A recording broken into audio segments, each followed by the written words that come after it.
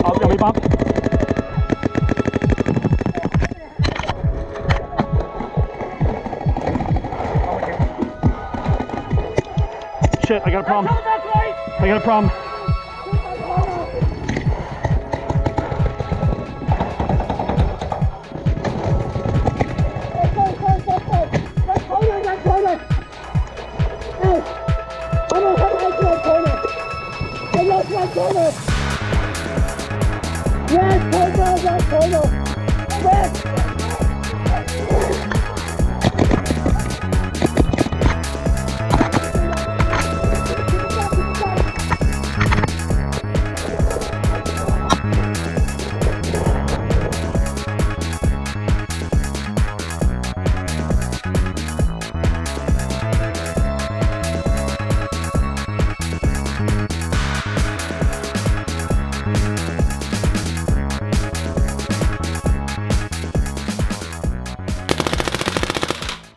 Alright guys, if you guys saw the opening clip, I was tired of having my hoppers jam mid-tournament. It seemed like more and more and more jamming both on the rotor and the TFX, and a lot of it was just bad paint, but sick and tired of it. No one with a Spire had the issue, and so this guy, this is Bunker King's control hopper. I got on at the Kickstarter, or this bad boy up, Spire 3 drive system. That's that's a plus. It's a well-tested system. It's robust. It speed. It, it feeds well. It's just incredible. 200 round capacity. So small form factor. I can't believe how small this guy is. They're claiming 200 rounds. We'll see how that is. Um, they also claim angle indicator and most perfectly balanced. So you have to be determined on that. I loaded it up this weekend, shot it in the backyard. Seemed okay. Can't wait to take it on the field once I get the ramps and the speed feed, see how it does in the airball field. Um, angle indicator. That will be a feature to test because I don't know if that's going to be a gimmick or not. So we'll turn it on and the button's at the bottom over here. There's no way this guy's turning on in your gear bag. Unlike the rotor, which can get bumped, or the, especially the TFX. I think that was the worst one out of the ones I have. It's got the angle indicator right here. We'll go ahead and turn it on. Of course, there's no paint in it. It's going to keep going, but you can watch the angle indicator. And you see when it turns green. Go ahead and turn it off because that's annoying the shit out of me. Probably you guys too. Lid pops open, and you can switch it out with no tools, which I think is just freaking awesome. Pressing the locking tab, lid comes right off. So, rainy day, no tools required. I think it's pretty slick. Or if you break it, whatever the case may be. Top comes off, which I like. You can keep the lid closed. You don't have to open the lid to get it off.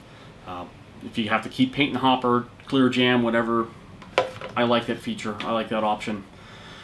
We got the bottom tray. We've got the gear, the gear system right here. It lifts right up. It's held in by a magnet on either side.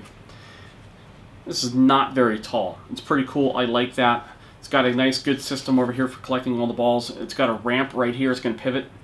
Rear one right here. Rear one right here. Again, they are in order. Drive system is magnetic. Soft rubber paddles on there. And this thing is highly configurable as well. So we've got lots of settings over here. We can adjust our angle indicator, which you can do with the loader on um, through the power button, which it's not just a simple on or off. If you go to turn it off with just one press, you're going to set the angle indicator versus actually deactivating it. You got to press and hold it to turn it off. Configure button over here makes it easy to go through everything. We'll turn it on. and see the LEDs. We'll hit the configure. You can see the LEDs moving. So what we've got on the bottom there, we've got angle indicator. You can change it from three AAA's to lithium ion in charge battery system. You get a sensitivity, you get the LED on and off, and then you've got the pressure for the pressure stack. Um, so very configurable. Right out of the box, this thing comes set up to work with any marker. So you don't have to. You can tweak it, but again, you do not have to. One locking tab in here, or one tab to slide in on the bottom tray. Locks back in place with magnet. We're going to go ahead and turn it off. But let's look at the form factor size. So if you guys look, that's what everybody wants to know. How's the profile on it? It is definitely smaller than a rotor, which is pretty slick. If we compare it like this, about the same size lengthwise.